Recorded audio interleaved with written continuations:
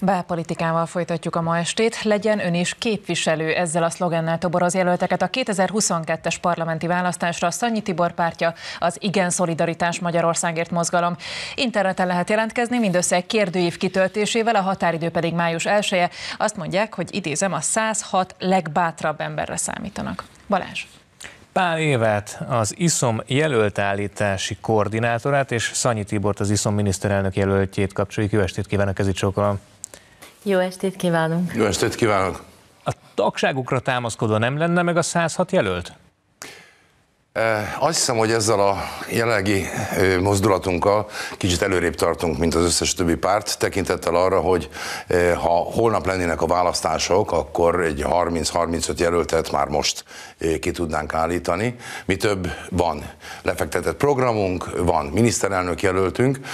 Én nem hiszem, hogy bármelyik párt el tudja mondani, hogy már most lenne 35 jelöltje, vagy azt, hogy van egy konszolidált, normális, a 22-es választásokra hangolt programja, vagy miniszterelnök jelölt jelöltje, sőt, Pál Évának köszönhetően eh, még egy dalt is komponált eh, a eh, háttér. Nekünk, úgyhogy még indulónk is lesz, tehát én azt hiszem, hogy a legnagyobb felkészültsége mi vagyunk, amúgy pedig arról van szó, hogy mi nem mutyizzuk össze innen, onnan, amonnan, ezzel, azzal diskurálgatva, sugdolozva jelölteket, hanem bátran kiírtuk, hogy kérem tisztelettel, aki úgy érzi, hogy számára van elég szocializmus a lelkében, hogy, hogy, hogy hajlandó ebbe a projektbe belevágni, nyugodtan jelentkezzenek. Mi úgy gondoljuk, hogy ha a népet akarjuk képviselni, akkor a nép gyermekei közül kell meríteni. Néha éri a politikusokat az a vád, hogy csak a megélhetésért választják ezt a pályát, vagy a kapcsolatokért. Hogy fogják kiszűrni azokat az embereket, akik mondjuk pénzért vagy hatalomért állnának politikusnak? Hát úgy, hogy nyilvánosan kell megmérkőzniük a megbízatásért, ami azt jelenti, hogy már az elején nagyon világosan elő az emberek elé kell állniuk, és én attól tartok, hogy hogyha valakinek baj van a fején, azért azt úgy nem merné megtenni. Na de hát ettől függetlenül ez egy folyamat, bőven ráérünk, mi azt szeretnénk, hogyha május 1 összeállna tulajdonképpen ez a 106-os államcsapat, és ez alatt az idő alatt én azt hiszem, hogy becsületes emberek nagyon könnyen ki tudják szűrni maguk közül az úgynevezett szerencselovagokat. 35 jelöltjük van már, tehát 35 körzetre van meg a jelölt, vagy 35 jelöltre, jelöltségre alkalmas személyük van? Hát köztük például rögtön itt van egy, Pál Éva, aki a Csepeli jelöltünk. Koordinátorasszony, ma indult az online jelentkezés erre a lehetőségre. De azt mondja a miniszterelnök jelöltjük, hogy már van 35. Honnan származnak, honnan jönnek ezek az emberek? Hát ezek az emberek gyakorlatilag olyan segítőtársak, akikkel már hosszabb ideje együtt dolgozunk, hiszen együtt voltunk már a borsodi választásokkor is, és bizonyítottak a, az elkötelezettségüket illetően. Ez nagyon fontos dolognak érzem, és ezek az emberek onnan származnak, tehát onnan jönnek a mi környezetünkből, de van természetesen olyan is, aki kívülről érkezett, tehát úgymond nem a mi köreinkből. Akkor maradt még 71 hely szabadon, jól értem-e? Igen, valóban van annyi.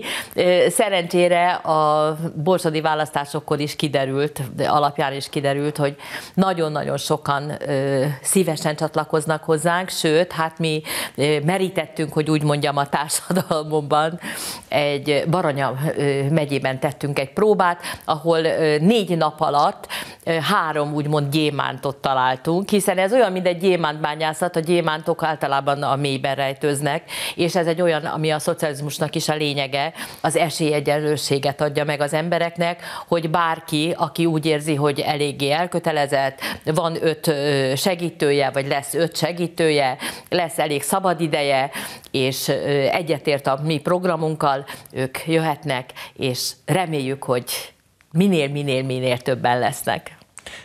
Új pártként nem volna egyszerűbb feliratkozni a közös ellenzéki listára egy-két biztos befutó helyért? Hát szabad erre válaszolnom, az a helyzet, hogy mi az egész tavaly esztendőben ezen törtük magunkat. Egész konkrétan négy hullámban, Huszti Andrea az elnökünk, Huszti Andrea négy hullámban szólította meg a, nem csak ennek a hat pártnak a vezetőit, elnökeit, hanem az összes többi általunk mondjuk elfogadhatónak tartott pártoknak az elnökeit Érdekes módon pont ez a hatos fogat, tehát akik most összeszövetkeztek, tőlük egyetlen egy korrekt, konkrét válasz se jött, négyszeri megkeresést követően. Mi ebből arra gondoltunk, hogy akkor még nem értek meg odáig a feltételek, hogy velünk ők tárgyalni akarjanak. Mi azt mondjuk, hogy mi türelmesek vagyunk, de hát addig is készülünk a választásokra, és pedig 106 ragyogó jelöltem. E-mailt írtak nekik? Parancs? E-mailt írtak nekik? Hogyne, e-mailen levelet, név szerinti leveleket, ezen felül pedig ezeket a leveleket egyébként az Igen Szolidaritás Magyarországért mozgalom honlapjára is minduntalan kitettük, és hát kitettük volna a válaszokat is, ha jöttek volna, de hát sajnos nem jöttek. Na jó, Úgyhogy... Sanyi úr, ön azért személyesen jól ismeri Gyurcsány Ferencet például, még ha annyira nem is tükörsima a viszonyuk. Miért nem hívja föl? Hát azért, mert ezt a mutyizást ezt akarjuk mi abba hagyni. Hát, hogyha nekünk van egy pártunk, annak van egy elnöke, Huszti Andrea, ő, hogyha kiír egy levelet Gyurcsány Ferencnek, egy másik párt elnökének, szerintem a politikai illendőség is azt mondja, hogy volna szíves válaszolni, mert hiszen mi a levelünket is kiraktuk az internetre, és a választ is szeretnénk kirakni az internetre. Magyarul mi nem mutyizunk, nem egymást hívogatjuk telefonon, hanem nyíltan, világosan az emberek számára teljes mértékig átlátható módon intézzük a politikát. Tudna együtt dolgozni Gyurcsány Ferenccel? Én már dolgoztam vele együtt, tehát azért annak a tapasztalatai kellő óvatosságra.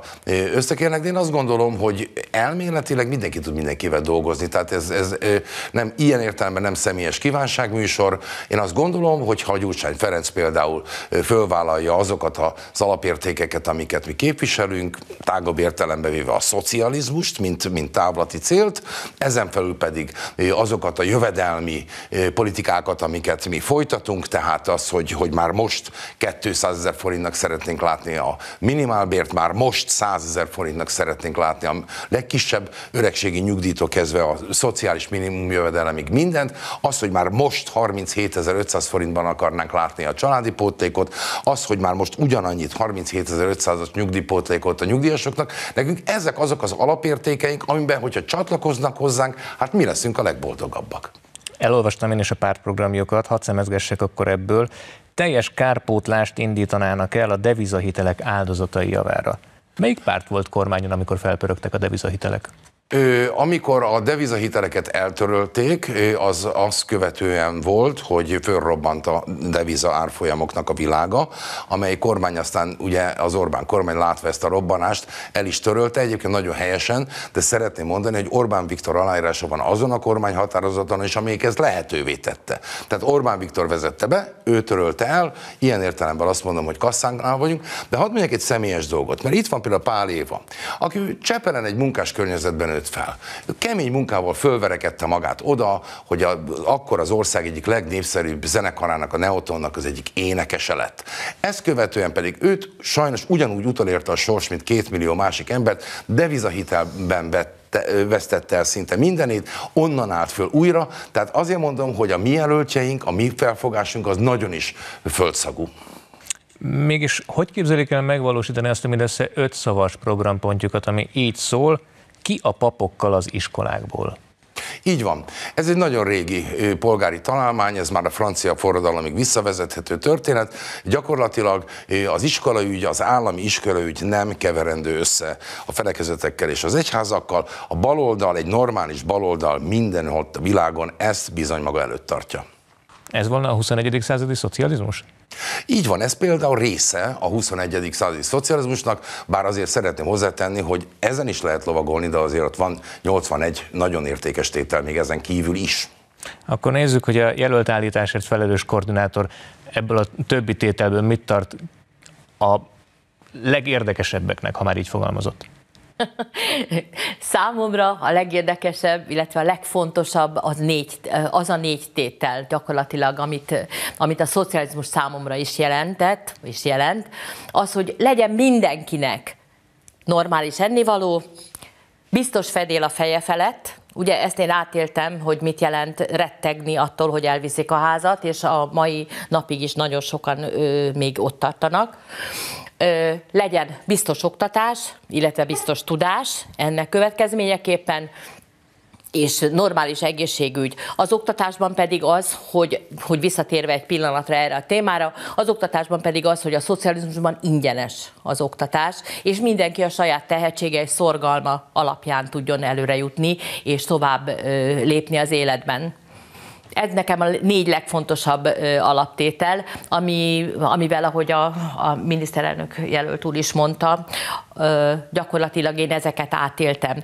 Átéltem, mit jelent az, mint a Neoton Együttes egyik sztárjaként 18 országban valóban sztárként élni, és ugyanakkor átéltem a másik végletet is. Tudom, mit jelent az, amit, amiben most sajnos a munkás réteg, tehát több mint 4 millió ember élhet, vagy él, hogy most a, a kenyeret vegyem meg, vagy pedig az áramot fizessem be, mert a kettő együtt nem megy. És akkor hol vannak még a gyerekek, a, a biztos étel, a, a, amiről az előbb beszéltem gyakorlatilag.